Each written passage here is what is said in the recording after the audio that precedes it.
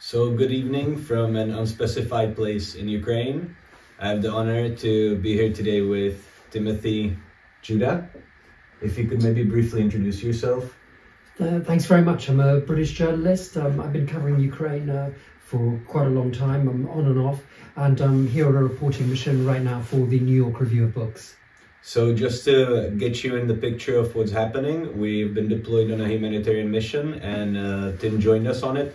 And on the way there, we've been uh, we've hit a series of unfortunate events, to put it mildly.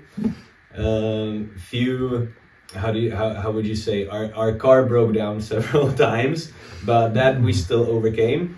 Unfortunately, about four kilometers before our final destination, we ran into this uh, local tradition in this time of the year in Ukraine called uh, Rasputitsa, which is essentially extreme mud and one of our cars just got stuck there.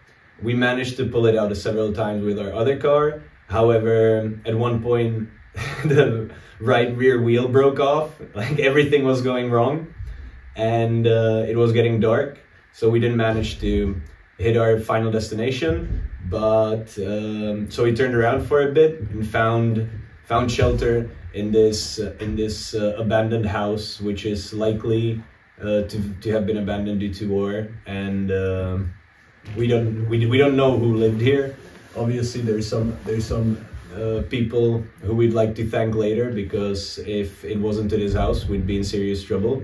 But to go on with the interview or with the with the talk let's say uh, what are you covering right here right now well, I've been here for almost a month, and um, because the New York Review does these sort of long reportage pieces, I've got to write a very long reportage piece mm. um, at the end of this month. So um, I had envisaged, or this coming to the border with you and uh, uh, going to a place which would be otherwise inaccessible as some part of my uh, piece. I mean, it will still be part of my piece whether we get there or not tomorrow, um, partly because of these adventures yes. that we've had. You know. But um, that, that, that's what I'm doing, and I've been in um, in, in Lviv, in, in Odessa, I went to Kherson, uh, Mykolaiv, and, uh, and now here. So, what are your first impressions of today, or your general impressions of today? Uh, well, you know, like as a journalist, you never learn nothing. So you're constantly learning stuff. So that, that's the first thing. Of course, it's frustrating that we didn't get to our target. Um, but you know, hopefully we'll be able to get there tomorrow. But you know, as, as I say, you you're always learning something, and just by looking out of the window, you're seeing stuff. You know, fields which have been ploughed, and fields where there's stuff rotting rotting which hasn't been harvested, uh, sunflowers we saw uh, today. You know, it, it, all tells you something. And even when we were stuck in, in, in that field, suddenly, you know, it was completely dark. You know, along comes a comes some big armored uh, vehicle, um, Ukrainian army, yeah. yeah, an infantry fighting vehicle. I mean, you know.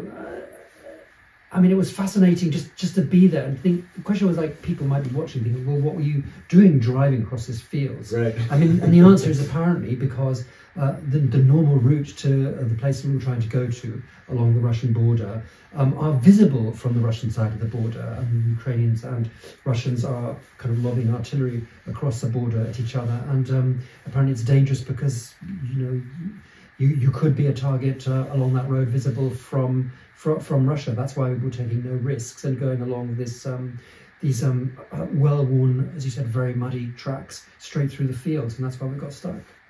And um, uh, how would I say?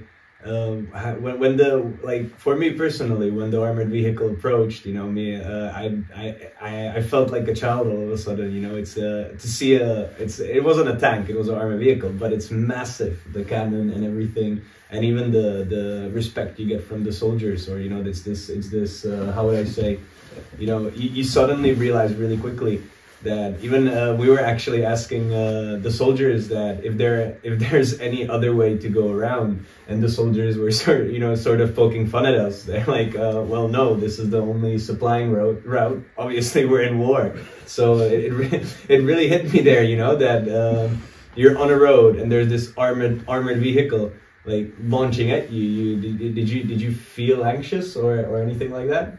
No, I felt disappointed because I was hoping they were going to tow the broken car to the to the village. That's what I, I was hoping they would just turn around and, and help us. But um, apparently they had other things to do. So uh, they, you know, they they gave some advice. They told us, you know, this is the only way to go. But um, you know, no, I felt I felt disappointed to tell you the truth. I was really hoping they were going to help us out and tow us. And uh, how long are you intending to stay in Ukraine for?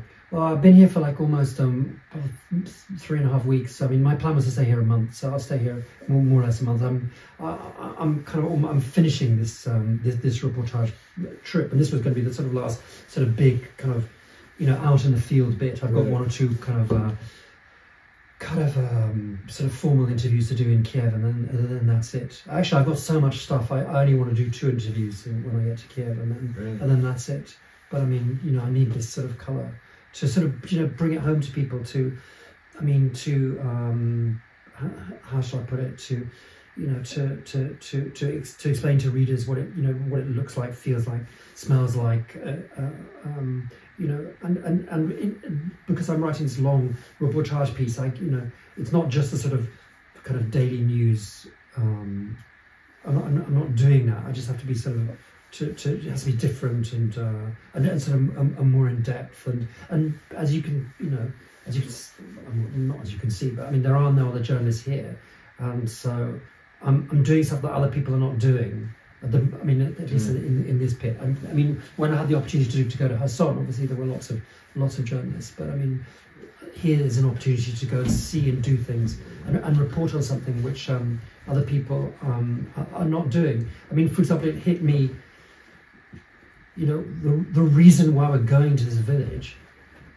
You know, really hit me when we were in in in the field, taking you know with this whole whole kind of um, van full of bread uh, and other things.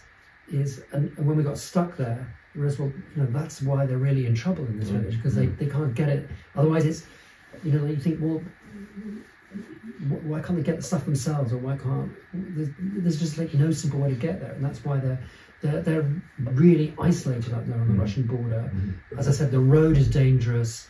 Uh, the only way to get there is through the field, and you know they're obviously running out of out of supplies. I mean, I don't think they're going to starve. I think of most kind of little villages in, in Ukraine, you know, most people have got sort of stores of food and uh, stuff, but still there are lots of sort of things that, which they which they need, and just of basic things like bread. That's what's in, in the back of the van. I hope it won't be too long before we get there, otherwise all the bread will be stale. Well, uh, just to specify, there's no signal or uh, internet connection. We're very lucky to find a house there's actually electricity in, so we managed to put on some heating. I mean, And- you say that, but luckily when we arrived, as far as I've understood, it was like there was no electricity until a few hours ago. It had been off for days. Oh, which yeah. and- So we're really lucky because I think in this house we've got a, plugged in an electric Yes. heater which was here. Otherwise we'd be freezing. And a blackout can obviously happen Exactly. anytime. They've been happening uh, Yeah. even in huge cities constantly. It's become an unfortunate routine in Ukraine lately because that's one of the um, uh, strategy of the occupant forces to wear down the willingness to resist and uh, basically torture the local communities with winter. I mean, with cold and and um, isolation, as you said. What are some of the findings you, you you've had in the last three weeks? I mean, I, I, as I said, I've been coming quite quite regularly, and I, and I think that what's really interesting is that I was here in um, 2014-15, and then um, uh, um, and then I then I came. Well, actually, I came at the beginning of the year. I came in January, and then I say from January till April. So the invasion began on February the 24th. So you have these in in my mind. There's three kind of periods to to describe. So there's that period of the time of the revolution 2014 15 and the, the beginning of the invasion when when the russians took crimea and they took the first um, chunks of luhansk and, and, and, and donetsk in which period you know ukraine and and ukrainians were sort of chaotic disorganized it was coming out of a revolution um, and um, the army especially was you know in a very bad shape, which is why kind of volunteer brigades were sort of formed and you know and helped stop the Russians in 2015. But still, Ukraine was very weak. And what struck me when I came in in in January and in the weeks before, leading up to the invasion was um, I realised how I had not realised, but I don't think anybody outside of Ukraine had realised, and I think above all, I don't think Putin and the Russians had realised how incredibly uh, Ukraine had changed between 2014, 15, and 2008. It was kind of organized, much more united, um, uh, uh, and, and prepared. However, I must say that on the eve of the invasion, very few people believed it was going to happen. I mean, like. Were you here actually? I was here. Yes, I was here. I came on January. I came in at the end of January, and then um, I was. Um, I did a big piece, literally, which I filed just before the invasion started, um, sort of like hours before, um, and you know wherever I went, including Kharkiv, where we mm-hmm. started today. I mean, it was complete denial. I mean, people said, "Of course, there's not going to be an invasion. Like, what rubbish!" I mean, I remember there was a aggressive woman in Kharkiv, Kharkiv Market and she uh, said um, she she shouted at me, going, "Have you got a brother?" And I said, "Well, yes." She said, "Would your brother attack you?" And I said, "Well." No, she said, no, so of course he wouldn't. So of course Russia's not going to attack us. I think that was very, very common. Uh, and then uh, that was in sort of ordinary market. Then there's the sort of more fancy um, upmarket, um, covered market with sort of fancy food shops and called the Sumska market. Mm-hmm. And I went in there and I had help with that. I was with a tr- translator, and we started going from, you know, place to place, asking people, "Do you, well, do you think there's an invasion about to come?" I mean, you know, this was February up. This was about February the 18th, 19th. So it was like we're talking like week, like a, less than a week before the invasion, and everyone goes, "Nah, of course mm. it's not. No, no, no." And then I, I just said to, to my translator, "Let's give up," because everyone was saying exactly the same thing. So I mean, there was this denial, but still behind it all, there was there had been. I mean, Ukraine had really mm. changed a lot. And then I think uh, then on February the twenty fourth, I was in um, Kiev, and then I covered all that period, the beginning of the invasion, and I, then I was covering Bucha and Irpin and uh, um, you know all, all of all of that period. And what was interesting was that there was this kind of um, the morale was extremely high, but there was a kind of euphoria and now, you're asking like what's changed. I think what's interesting is that what's changed from that period is that morale is still very high, mm-hmm. and, and so it should be like 50% of the territory which had been taken off in, in the first weeks of the war has been, has been taken back, and, um, uh, and, and the West has been incredibly, unsurprisingly united. So morale is still very high, but what a lot of people have said to me is how um, uh, how the, the, one thing that has changed behind this high morale is this it's now it's personal meaning that so many people have lost somebody that they know mm-hmm. they've lost mm-hmm. colleagues or if they're soldiers they've lost other they've lost they've lost Friends. comrades in arms but so now it's it's not just a sort of defending Ukraine and, and, and doing the right thing it's, it's it's that plus the personal thing of you know I, don't want to say revenge. Uh, that's not the, the, right word, but it's just that. I mean, well, they put it on as well themselves. It's personal. Yes, yes. So um, you spoke about, or you talked about mental resiliency of the nation, and actually, uh, me and my colleagues from Team 4 Ukraine and Maidan Monitoring Information Center, we uh, we're here to monitor war crimes. Yes. What uh, what are your I don't uh, how how to state it not opinions or feelings, or actually, yes, opinions and feelings about the atrocities and uh, the horrible behavior of the of the Russian army or the occupant forces that are here, and um, yeah. I mean, I've covered other wars before, and um, is it comparable? I mean, in, in I mean, in general terms, there are superficial comparisons, and then you sort of dig deep. I mean, no, but I mean, for example, I you know I covered all the Balkan wars. So in, in Bosnia uh, and, and, in, and in Croatia, you know, there were a lot of uh, well, I mean, obviously war crimes were were were, were prominent, um, but a lot of what's happened. He, I mean, a lot of what strikes me. A lot of what's happened here strikes me as uh, um, I mean, it, it, it's, it's self-defeating anyway. It's, it's mm-hmm. completely self-defeating because all it's done is it's kind of united kind of U- Ukrainian um, resolve. But I mean, I, I, I, mean, I actually, having been talking to your your your your, your colleague um, Petr Poiman, where he's he's his has his theory of the sort of um, the how how uh, deviant nature. Did, well, what I want to say was the, the absorption into the sort of military and, and state mainstream of, of, of literally criminal elements. You know, a commander in chief who spent time in the army. You've got the head of the sort of Wagner group who was also a kind of former criminal. I mean, and, and, and bringing it and recruiting many criminals to to, to fight. Um, who have little moral scruple, but also little kind of you know military training either. So I think there, there is that that element as well um, which does explain the sort of you know irrational and well, to, to us kind of irrational and sort of uncontrolled kind of violence. And and what's interesting is it's, it's not it's not everywhere because you do go to some places and then not much happened. But then you had in in in places like in, in Bucha especially this kind of I mean I- I- irrational.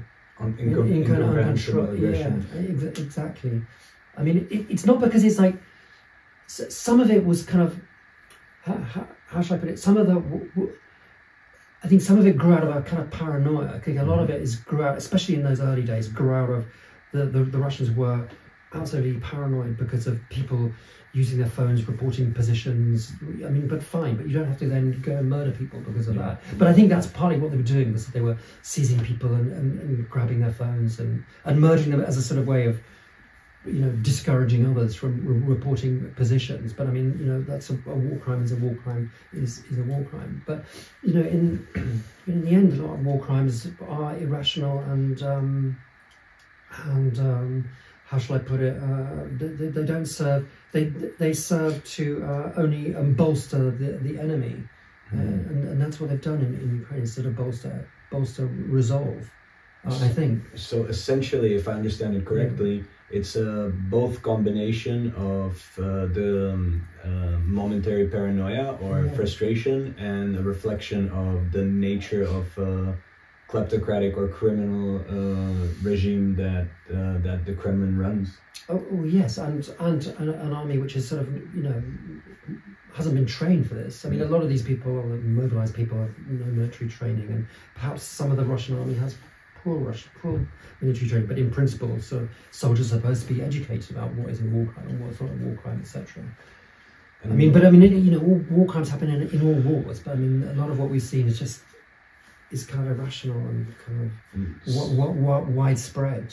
Since you've covered more wars out of experience, uh, Yeah. at what point of the war do we find ourselves now, or what can we expect in the No, near that's future? that's like also that's a, uh, that's a crystal ball question. You know, Yeah. I mean, uh, one thing about this war has been so many predictions have been just completely wrong. So I'm just not going to say this is this is going to last for two months or this is going to last for a year or five years. I, Mhm. I, I have no idea. I mean, look, you know, on February 24th, people who did predict a war correctly, and the intelligence told us there was going to be a war. I mean, we was like, this is a lot of people didn't want to believe it, but the people said, you know, a lot of, you know, experts were saying this is going to last three days, you know, Ukraine's going to collapse, and of course, of course, it didn't. And then they, a lot of experts keep making thing, making predictions and Yes. analysis, which proved to be wrong. I mean, the, the chief of the general staff, U.S. General Staff, Mark Milley, was saying um, uh, the days in the days before Kherson fell. Oh, this could take weeks. You know, even if the Russians are going to leave, it could take them weeks to sort of withdraw. I mean, I mean, if the chief of the U.S. the U.S. chief of general staff doesn't know, uh, you know, then like, you know, I don't, I don't know. Um, and there are so many un- unpredictable elements as well.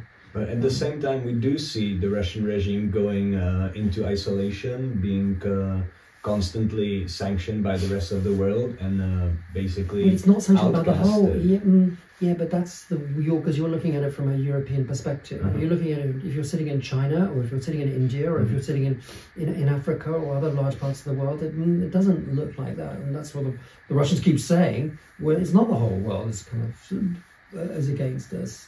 I mean, the Chinese and the Indians might be a bit uncomfortable, but they, they haven't put sanctions. They could do a lot, Mhm. but they haven't done it, have they? That's true. So. Um, So it's not, yeah. So it's not the isolation, complete isolation. I mean, it's isolation from an important economic, an important. Sort of, But is there a way back for Russia at all? You know, into into uh, into state pre-war. Well, you know, not, not with uh, Vladimir Putin as president, Mhm. for sure. You know, and not uh, not with Vladimir Putin, uh, uh, uh, and and and not occupying large parts of Ukraine, for sure. No.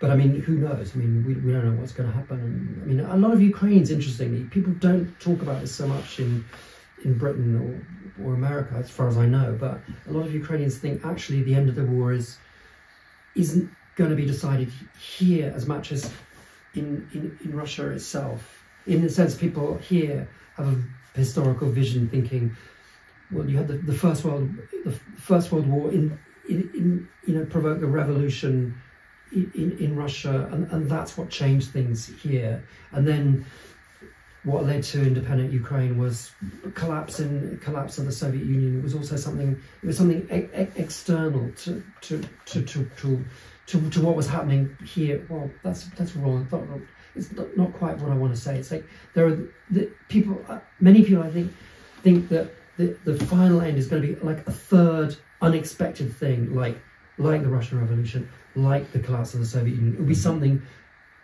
provoked by this war, but unpredicted, and and and, and will will lead to change in Moscow. But I mean, I don't know. You know, but that's what I've, many people have said to me already. maybe last question to conclude the interview. As a British journalist, could you maybe give us some input how you feel the general British public views this conflict in in the in Russian aggression? I I think pretty, pretty solidly uh, pro-Ukrainian. I think very much so. I mean, uh, the the one thing that I, I I think it needs to be said, you know, from a journalistic point of view, from no other point of view, is that some people ask me, well, what's different from all the other wars you've covered? And there is one thing which is different in this war is that we as Western journalists, we can't cover the other side Mm-hmm. which is a problem. I'm not saying there's nothing to do with, with with supporting one side or the other. It's just that normally in a in a conflict, it's important to cover both sides, So we know what people are thinking. We know what's happening on the other side, and we don't. We don't know what's happening because we're not allowed to get there. The Russians won't give us visas. You can't go accreditation whatsoever. That's why there's no coverage from the other side. So everything is from from from this side. And there's nothing wrong with reporting from this side, but you know, it would be uh, useful journalistically and, and otherwise to be able to do a report from, from, from the other side, but it, but that's physically not not, not possible. No, and, and that's the big difference between this war and other wars. I mean, for example, during the Bosnian War, you could be covered one side in the morning, and you could cover the other side in the afternoon. You could have a story saying, I mean, literally covering the same place on both sides and make a kind of complete picture. But you, you can't do that here.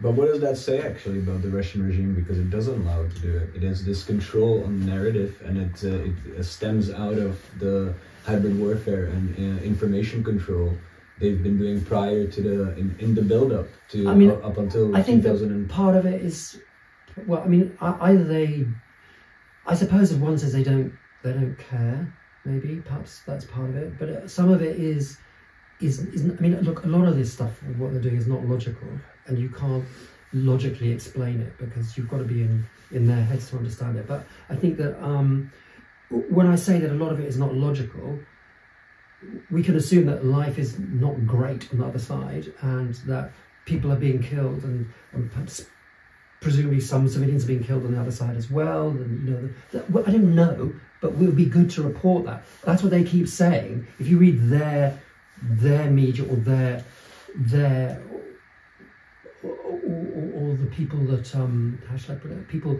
the, the sort of activists etc who, who who purport the few activists Western activists who purport to be journalists who are not really journalists on the other side, they keep saying "Oh, Ukraine's doing all these terrible things, etc. Well, you know, it may or may not be doing it, but we don't know because we can't report it. So, you know, but it would be logical if it was true that they would let us um, report it. Uh, well, maybe it's not true. Maybe that's not why, why they don't let us go. I mean, but I don't know because I can't go there. We can't go there. Well, thank you tim for the interview for the, Okay. for the thanks for having me. It's- and Thanks for bringing me on it's- this trip. it's, it's been really um, fascinating.